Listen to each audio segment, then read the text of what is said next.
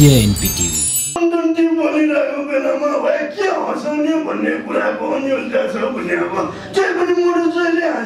मान्छे भए मलाई जे कुराले पनि भुइँचालो गएछ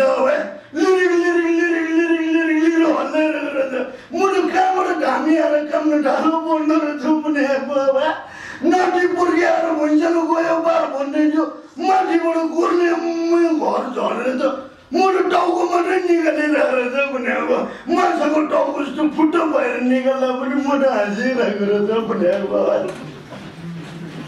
देश रोइरहेको बेला मजाले हान्नु सिक्नुपर्छ भन्ने चाहिँ मुस्कान बसेको सिद्धान्त हो मैले चाहिँ भनिदियो भने अब बस्ती उहाँलाई अन्त्येष्टि त्यही दिने हो कि यस्तो यस्तो मैले नभन्दैदेखि उहाँले जे पनि गर्ने हिसाबमा चाहिँ प्रस्तुत गर्नुहुन्छ। यो हम हमलाको हमला कार्यक्रम आज हिमालय टिभीमा आउँदैछ। उहाँलाई मैले त पनि लगाएको छु आज त्यो कार्यक्रम हेर्न पनि अनुरोध गर्न चाहन्छु। र उहाँको यो शैली यस्तो छ यस्तो एट्याकिङ छ अहिले बोलीले मात्रै प्रस्तुत गरिरहनु भएको छ। कुनै दिन उहाँले आफ्नो नाक पनि प्रहार गर्नु नाकैले ठुँगेर भन्छस् भने भन्नु भने भन्नु ठुङ्न पनि डरलाउनुहुन्न उहाँ नाकलाई पनि कन्ट्रोल गर्न चाहन्छु बढेको बढै छ बढेको बढै छ लौकाकै प्रकृतिमा अगाडि बढिरहेको छ नाकलाई पनि कन्ट्रोल गर्न गर्छु र केही नेताहरूले उहाँलाई गायत्रको अवसरमा सन्देश पठाउनु भएको छ शेरबहादुर देवा फर्केलाई ऋषिजी अब तपाईँ तपाईँ जुन हिसाबमा जुन शैलीमा प्रस्तुत भइरहनु भएको छ भर्खेलाई त्यो हाम्रो गाउँघरतिर भर्खेलाई युरोपको पर ढुक्न आउने भन्छन् भर्खेलाई त्यस्तै शैलीमा कुनै नेता बाहिर आयो भने क्यामेरामा अनुहार देखिन्छ भने पछाडि लिपिक्क पर आउनुहुन्छ तपाईँ जतिखेर आफ्नो शैली गएर चाहिँ तपाईँ भर्खेलाई चाहिँ तपाईँले चाहिँ जे भन्दा पनि हुन्छ भन्ने हिसाबमा उ गर्नुभएको छ। योपालि गाईबाट तपाईँ सचिनु शान्त हुनुहोस् शिष्ट हुनुहोस् प्रश्नको पनि अर्को खेलाडीलाई सोधेको प्रश्न आर्थिकमा पर्ला भन्ने डर हुन्छ आर्थिकको शून्य डिग्री केही नलेज छैन आर्थिकमा चलाउनुहुन्छ तपाईँ सबैतिर भ्याउने कोसिस गर्नुभएको छ तर राम्रो छ रिपोर्टर्स क्लबको लागि शुभकामना ऋषि भाइ रिपोर्टर्स क्लब चलाउनु भएको छ भाइ एकदम राम्रो गर्नुभएको छ रिपोर्टर्स क्लबको अध्यक्ष हुनुभएको छ भाइ भाइलाई एकदम शुभकामना पनि छ भाइ है तर जुन शैली जुन आतङ्ककारी हिसाबमा चाहिँ तपाईँ प्रस्तुत हुनुभएको छ हमला गर्ने हिसाबमा भाइ हुँदा हुँदा तपाईँ चाहिँ पुरा भोलि हतियार लिएर चाहिँ निक्लेर चाहिँ अन्तर अन्तर्वार्ता गर्ने हिसाबमा बन्नु भने त गाह्रो हुन्छ भाइ है। शान्ति हुनुपर्छ भाइ संयमित हुनुपर्छ शान्त हुनुपर्छ भाइ है। भाइलाई यो रिप्रेस क्लबको अध्यक्ष निरन्तर भगवान् शुभकामना गायत्री अवसरमा यही शुभकामना दिन्छु है भाइ। है राम्रो गर्नुहोस् है भाइ राम्रो गर्नुभएको छ भाइ। है है भाइ धन्यवाद भाइ। देश अहिले बन्दैन पहिला हामीले विश्व बनाउने हो अनि त्यो पछाडि मात्रै देश बनाउने हो अहिले हाम्रा युवा साथीहरू कोही कतार बनाउन गएका छन् कोही मलेसिया बनाउन गएका छन् कोही दुबई बनाउन गएका छन् पहिला विश्व बनाइसकेपछि अनि मात्रै आफ्नो देश बनाउने हो अहिले हामीले देश बनाउँछौँ भनेर पार लाग्दैन तपाईँकै कारणले देश डुबिरहेछ भन्छ नि त कमरेड म के कोसी हो र डुबाउँदालाई म के तिर्सुली हो र डुबाउँदालाई होइन यो राजनीति त तपाईँकै सेरोफेरोमा घुमाएको छ। भनेपछि साथीहरूले मलाई रिग्रेट बनाएछ दोस्रो रिग्रेट त मलाई चाहिँ बनाउने योजनामा बढेछ कि क्या हो? त र एकीकृत भएर सबै मिलेर अगाडि बढ्नुपर्ने अवस्था हो। यो पालिमा एउटा राजनीतिको एउटा निकास दिनुपर्ने हिसाबमा सबैजना अगाडि बढ्नुपर्छ भन्ने हाम्रो मान्यता हो। निकास दिने हिसाबमा जसरी हामीले खाएर चाहिँ एउटा फाल्ने निकास दिन्छौँ त्यसरी नै सहज ढङ्गले अगाडि हिसाब भन्दा भन्दै जाला भन्ने डर हुन्छ बोल्दा बस्ती निर्माणको क्रममा दुःखद घटनाहरू पनि थिए तपाईँहरू सब भएको जुत्तै छैन हेर्नुहोस् यताबाट जुत्तै लग्दैनछन् के गर्ने होला यो भने ए जुत्ता जुत्ता जुत्ता भन्छु साराका जुत्ता फुकालेर लाउँछु मिल्दै मिल्दैन के गर्ने होला त? भित्र एउटा किचनमा छिरेको एउटा धुलै धुलो हिलै हिलो भएको जुत्ताहरू छ हप्तामा पुछपाछ गरेर चाहिँ त्यो छालाको जुत्ता लाएँ। अनि पछि मन्त्रीजीको आउनुभयो सबै कार्यक्रम सम्पन्न भयो कार्यक्रम सिद्धियो राम्रो भयो। सबै कलाकार साथीहरू सबै जानुभएको थियो। अनि कार्यक्रम सकिसकेपछि एकजना दाई आउनुभयो भाइ म जान लागेँ है भाइ हुन्छ दाइ ल धन्यवाद आउनुभयो एकदम खुसी लाग्यो दाइ भने अनि त्यसो फेरि म खाना खानेतिर भक्कले गएको त्यहाँ जाँदा पनि भाइ लाग्यो ल भाइ है भाइ म गएँ। हुन्छ दाइ जानु न। अनि फेरि अर्को एउटा मान्छेले बोलाउनु भयो फेरि त्यहाँ गएँ। अनि त्यहाँ जाँदा पनि यसो कोटार भाइ म गएँ ल। हुन्छ नि दाइ जानु न। अझै नै भने दाइ अझै जानु नि जानु। फेरि उता फेरि खाना खानुतिर जान्छु फेरि भाइ म गएँ नि तपाईँ दाइ जानु नि त अघिदेखि तपाईँले जानु भने होइन भाइ कति गर्नुभएको दाइ तपाईँले? जानु भनिरहेको छु दाइ। भाइ जुत्ता चाहिँ खोल्नु नि त्यो जुत्ता परेर छ त्यो रमाइलो पनि भएको थियो। र अन्तिम त्रिपालमा आए सबै लाइन लस्कर लाएर छुटेछ भर्खर बिहा भएको छ सुहागरातीहरू त्यहाँ गाँटी त्यसको कस्तो हालत होला। उतापट्टि परिचय दुलै बाउ भाइ काका साकाको छिमेकी पनि छिरिया छन् लोनी यतातिर परेको छ पुलुकै हेर्दछ गर्छ। बुढी उता छेउबाट। दिन होइन दुई दिन होइन हेर्नु सात दिन आठ दिन दस दिन गइसक्यो। अब त्यो केटाको त हालत पत्ला भयो यसो बुढीलाई हेर्दा पनि भुइँचालोको भन्दा समस्या उसलाई अर्को समस्या भयो। अब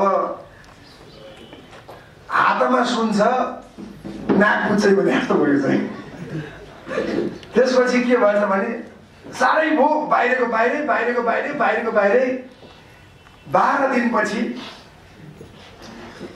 बाउलाई भनेछ दुलाले आफ्नो बाउलाई बा अब भित्र गए हुन्छ कि बा? मैले न्युज हेरेँ हो सिएनएले नि भन्यो बा आउँदैन अरे अब त। भित्र जाने होला कि बा आज? नगरा मरा कहाँ हुन्छ? सिएनएन फिएनएनले भन्नुहुन्छ। हल्ला हल्ला चाहिँ पर्दैन। यहीँ बस्ने एकदमै फेरि खिचरिक्क पऱ्यो। ए बुहारी तिमी सम्झाउ न यसलाई। यो भित्र जाउँ भित्र जाउँ भित्र जाउँ भन्ने आएको छ। सम्झाउ सम्झाउ अनि बुवा के सम्झाउनु? पढे लेखेका मान्छे भनेको कुरो ठिकै होला नि बुवा। भन्दै थियो।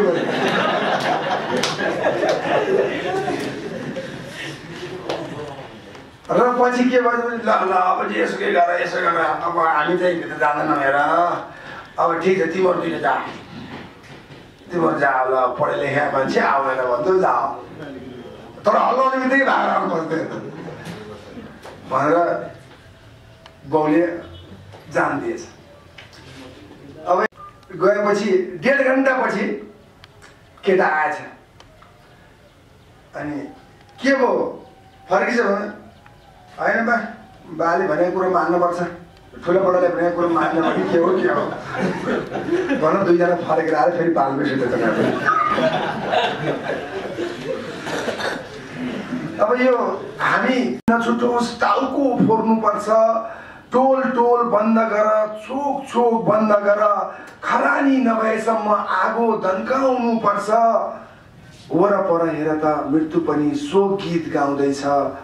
हो साथी हो संविधान आउँदैछ यही हो मौका देशमा शक्ति देखाउने। यही हो मौका देशमा शक्ति देखाउने लाल पूर्जामा आफ्नो आफ्नो नाम लेखाउने। खण्ड आए तिमी उफ्रनु अखण्ड आए हामी उफ्रन्छौँ।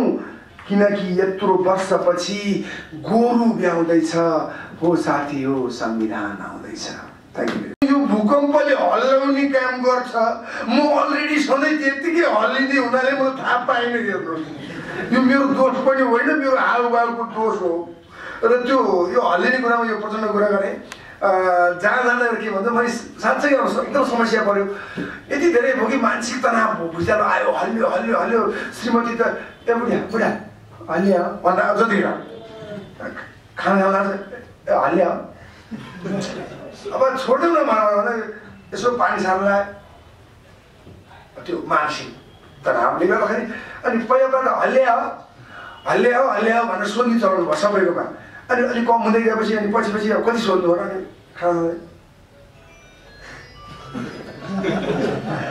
इसारा इसारा यो भूकम्प अनि मैले श्रीमतीलाई के गरेँ भने श्रीमती असाध्यै मानसिक समस्यामा परिन् भूकम्पले गर्दा अनि मैले के भयो बुढी सबभन्दा राम्रो उपाय के हो भने भुइँचालोबाट यस्तो यो पराकम्पनबाट सिकाएँ साँच्चै बुढीले पत्याए अनि पानी खाउँ पऱ्यो भन्दा अब तपाईँको आइडियाले काम गऱ्यो भन्दा एकछिन एकछिन पछि फ्रेस पनि भयो। त्यो बाह्र गते पछि सिकाएको थिएँ। उन्तिस गते नहुने साँच्चीकै आयो। बुढी आयो भन्यो छैन झन् उल्टो बग्ला भन्ने डर गर्छ त्यस कारण नजाने कुरो सिकाउनु भएर जानु उहाँले यति धेरै किन डिभोर्स गरे तपाईँले भन्नै पर्छ आज त्यो प्रियङ्काजी तपाईँले भन्नै पर्छ आज भन्नै पर्छ भनेर अनि उहाँले मलाई के भन्नुभयो प्रियङ्काले भने प्रियङ्का एकदम क्लब जान्छन् जिम गर्छिन् अनि दिपो दाई एक्सर्साइज गरेर पसिना निकाल्नलाई चाहिँ जिममा जानु पर्ने ऋषि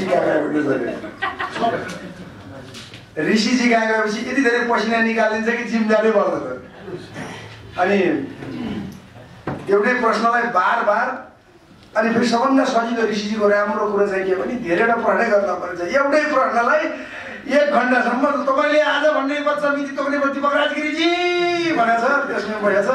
सबभन्दा राम्रो एउटा प्रश्न सोद्धाखेरि त एक घन्टा गयो भने दुईवटा प्रश्न पनि लाग्यो यो पनि तपाईँको एकदमै गुण छ धेरैले गुण गाए। अब यो मैले हजार जिब्रा भएका शेषनागको हिम्मत छैन म कसरी तपाईँको गुणगान गाउँ? तपाईँका शारीरिक हावभावदेखि लिएर कम्पोमा सबभन्दा बढी राष्ट्रका सेना प्रहरी पछि लाग्छ मलाई। कलाकारहरू नै बढी खटिए। र आजसम्म पनि हामी भूकम्पको नाममा पैसा उठाउने क्रममा छौँ राष्ट्रलाई परेको बेलामा त्यो गर्न पाइएकोमा हामी आफैलाई खुसी लाग्छ। अब यो त भयो सिरियस पक्ष। अब रमाइलो पक्ष कुरा गरौँ भूकम्पसँग जोडिएका कुराहरू। हामी गयौँ। भूकम्पले हाम्रो दुई तिनवटा ठाउँको नामै चेन्ज गरिदिएछ सबभन्दा पहिला त म एयरपोर्टमा मर्निङ वाक गरिरहेको थिएँ, एकजना इन्डियन आउनुभएछ भूकम्प गएकै दुई तिन दिनपछि ए भाइ साहब! आज उसले मलाई कलाकार भनेर चिनेन। बोलिए, ए, एक बात बताइए प्लीज़। हाँ बोलिए, पूछिए। ए, सिद्धू पाजी किधर है? मैले भने, सिद्धू पाजी तो भाई पंजाब में है, इधर क्यों ढूंढ रहे हो? नहीं नहीं यार, ये जो नेपाल में भूकंप गया है, वो सिद्धू पाजी किधर है? के भन्छ त्यो सिन्धुपाल्चोक जिल्ला भनेर अब त्यसलाई त्यो सिन्धुपाल्चोक जिल्ला लामो नाम गरेर सिद्धूपाजी भनौँ।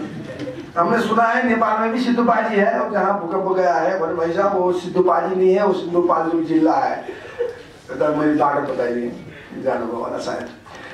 एउटा नाम थियो भयो अर्को नाम दोलखा मलाई असाध्यै मनपर्ने ठाउँ दोलखा भीमसेन रमणीय ठाउँ हाम्रो चलचित्रको लागि सुटिङको स्थलको लागि पनि उपयुक्त ठाउँ भनेर त्यहाँ छनौट पनि गरिएको छ त्यहाँ गएँ।